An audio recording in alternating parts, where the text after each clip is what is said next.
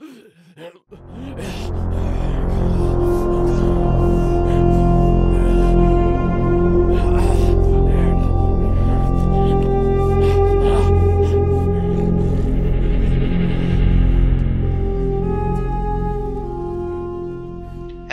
everybody! Welcome back to another unique item location guide here on Borderlands 3. Today I'm going to be showing you guys how to get the unique grenade called the Chocolate Thunder. So to do this you're going to need to pick up a side mission called Just Desserts in the map Splinter Splinterlands. You will be uh, sent off to go and collect some spider ant eggs and also some barrels of gunpowder. And then you will bring them back to Beatrice and she will make you uh, an exploding bomb for a uh, cake to be sent to a uh, rival gang um, for one of the uh, the leader's birthday party. Basically, once you've gone up and made all of them, you can then go and deliver the chocolate cake. And then uh, just send it down on like a minecart system, etc and uh, wait for it to explode, basically. So a little bit of a warped, twisted side mission right here, but uh, it's quite fun to do anyway. The uh, dialogue's pretty funny. So uh, yeah, once you've completed this mission, you can go back to Beatrice.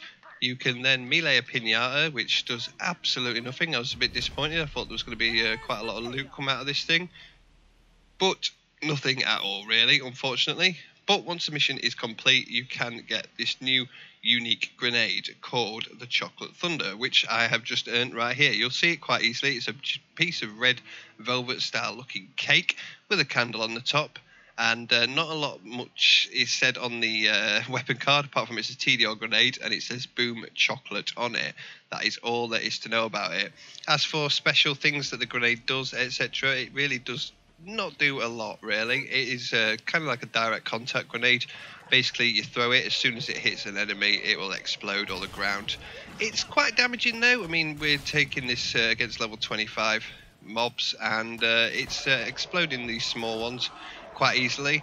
Uh, things like skags and that. Uh, if there's two enemies quite close together, as you can see, it will take them both out at once. So it's not a bad grenade at all, really. It doesn't do massive amounts of damage two uh, big shielded mobs or bosses or out like that really it'll just chunk out a little bit and uh, you can soon go through a lot of grenades using this as i found so i'm trying to scavenge some more now but i'm really not getting a lot more but yeah it's just a bit of a novelty item really it's worth using if you've got nothing else that's what i will say but uh, when you start coming up against bigger health enemies like this guy right here look you'll see that was a total miss anyway at the start so that's a fail uh, but there you go, it's really just taking off small chunks of his health, which isn't too good.